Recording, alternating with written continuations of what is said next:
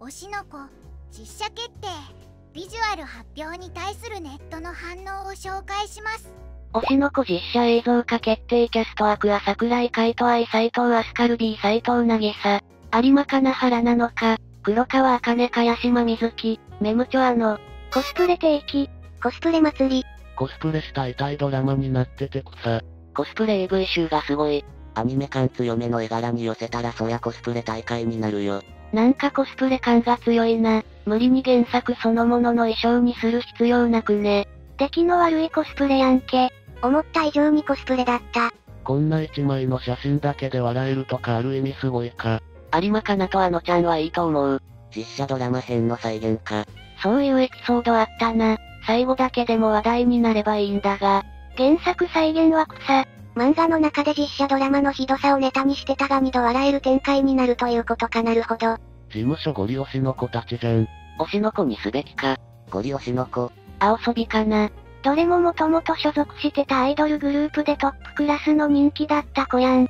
いやだからそれが誰だよって話だろ。アイドルグループとかファン以外は知らねえんだからさ。え、俺でも知ってるレベルだが。いやお前誰やねん。一般人はあのちゃんとギリギリ斎藤飛鳥以外、誰？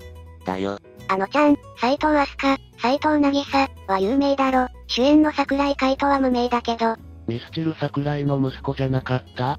桜井息子に関しては、家が超絶金持ちでどこか浮世離れしたイケメンな感じが、アクア役でハマるかもしれない。アクア桜井海斗矢印ミスチル桜井和俊の息子愛斎藤飛鳥矢印元乃木坂46ルビー斎藤渚矢印元指原プロデュースアイドルラブメンバー。有馬金原なのか矢印子役出身女優。黒川茜茅島瑞希矢印アミューズ女優。メムチョアの矢印元ゆるめるも。愛は橋本環奈しかないだろ他は誰がやっても叩かれる。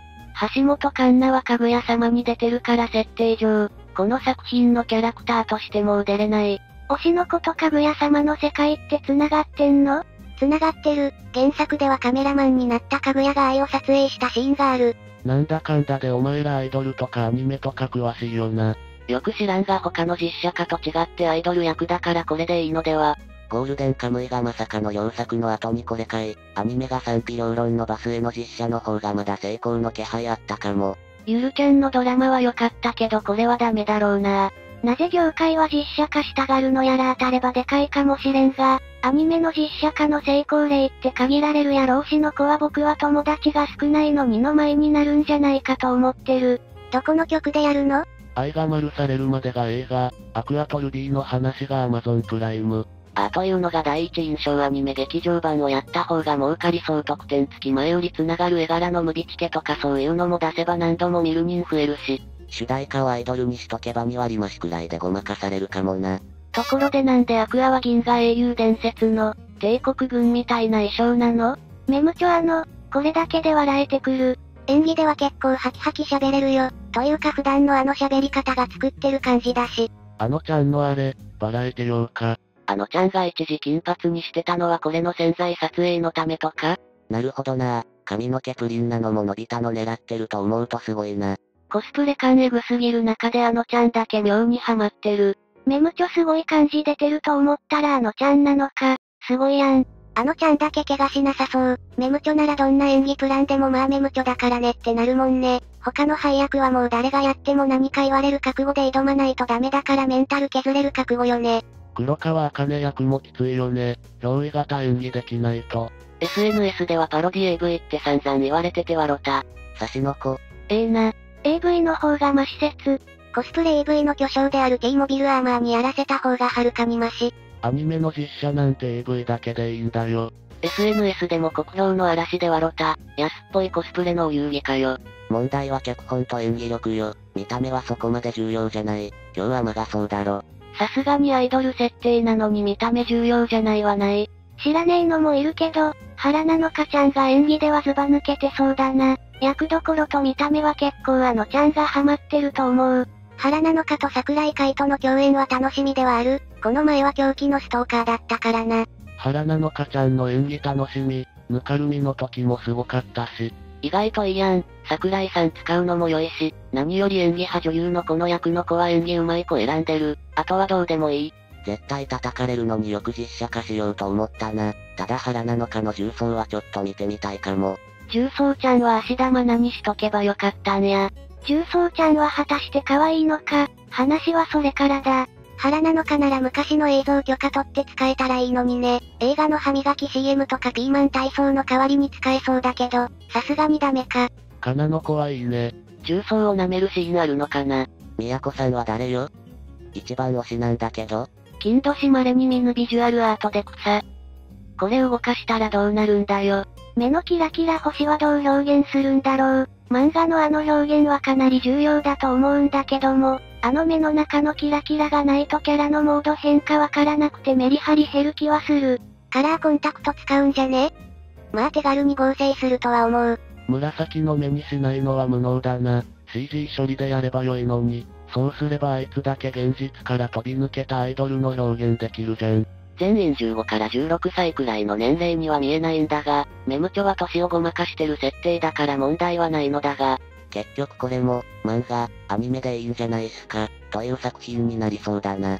これ実写化は難しいだろうな。演者のプレッシャー半端なさそう。登場人物が天才で演技がすげえみたいな内容の漫画を実写にするのは難しいと思うな。すごいアイドルとかすごい女優とかさ、どうせ表現しきれねえんだから実写とかやめとけよ。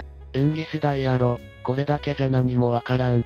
無名って言うから全然知らん名前だらけかと思いきや、アイドルとかそんなに知らん俺でもでわかる名前半分いた。衣装って、完全再現しか無理なのかな。リアルとマッチするように調整できんもんなのか。ここまでやるんなら目に星の絵のカラコでも入れてこいよ。なぜ漫画やアニメの服をそのまま使ってしまうのか。それこそ AKB みたいな現実の現役アイドルの服装の方が合うだろ。アイドル物だし実写にできそうって思ったんだろうな。アニメとか漫画だから話成り立ってんのにアホかよ。大惨事になる未来しかねえだろ。実写化は期待というより怖いもの見たさで見てしまう。昔ほど大惨事なことになってなくてちょっと残念。双子の赤子はどうするんだアマゾンの潤沢な制作費でフル CG? 赤ちゃんにおたげどうやってやらすの ?CG とかだろどうせ。それか〇〇カット。今回発表されていないが、ピエヨン役だけは評価高くなるんだろうな。小島よしおか中山きんに君か。さすがに原作、どう見ても西洋人なのに無理やり日本人で作った進撃の巨人、鋼の錬金術師よりは良いだろう。もともと日本人の芸能界の話だしね。漫画とかアニメを原作原案に使って成功した映画はほとんどないからな。何言ってんだ？今は漫画原作の映画ヒット作多い時代だぞ。海猿は興行収入204億出しるローに検診も193億いってる興行収入10億超える作品はヒット作と言われる邦画の世界でヒット作品が何十本も作られてるぞ。いちいちアニメを実写化したがるのなんなん？興行収益がある程度計算できる。推しの個実写に対するネットの反応いかがでしたでしょうか？ビジュアルが発表されると、コスプレ、パロディ AV、見たいという声がちらほら。完璧で究極のアイドルとか天才役者とか、実写で再現できるか不安なところ。それでは、次の動画でお会いしましょう。ご視聴ありがとうございました。グッドボタンとチャンネル登録、よろしくお願いします。